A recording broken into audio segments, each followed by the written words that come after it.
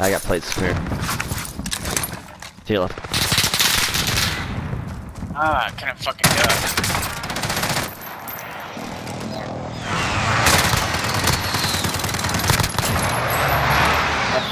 Good shit, mate.